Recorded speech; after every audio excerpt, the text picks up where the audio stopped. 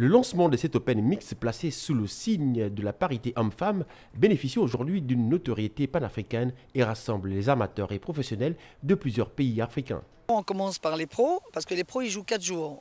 Après deux, tours, pardon, vous avez un cut, donc on ne garde que la moitié du champ et il continue encore pour deux tours. Et puis au quatrième jour, ben, on sait qui est le vainqueur. Et les amateurs, par contre, ils jouent que sur trois jours. Cette édition prévoit d'être riche en expériences golfiques sur le plan national et continental. Il était de bonne guerre après euh, trois ans euh, pratiquement de Covid et des arrêts euh, de tournois de venir faire honneur à l'Open de Libreville, auquel particulièrement j'y tiens parce que avec l'accueil et mes amis ici, le Gabon me manquait déjà.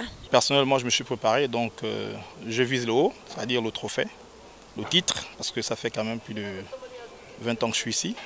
La compétition 37e du genre au Gabon vise à consolider le potentiel économique et touristique à l'instar de ce qui se fait dans d'autres pays du continent où le golf s'impose comme vecteur du développement. Ben, le parcours de Libreville n'est pas un parcours très long, mais il est très technique.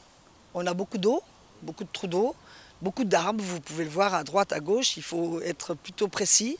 C'est pas tellement la longueur qui fait, qui fait le jeu, là c'est la précision. Il faut placer sa balle pour savoir jouer son deuxième ou son troisième coup.